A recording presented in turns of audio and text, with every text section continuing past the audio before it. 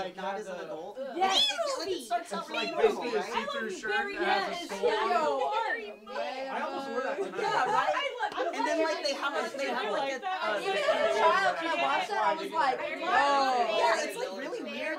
It's like really uh, weird. They make a bunch of jokes about incest and death, and like they make a couple references to walked in Casablanca. Yeah, it's like We're ranting about yeah. Okay, why are we ranting and not raving about It's it? a little bit of both. Well, there's like a scene We're- we're- we're talking shit about Barry is,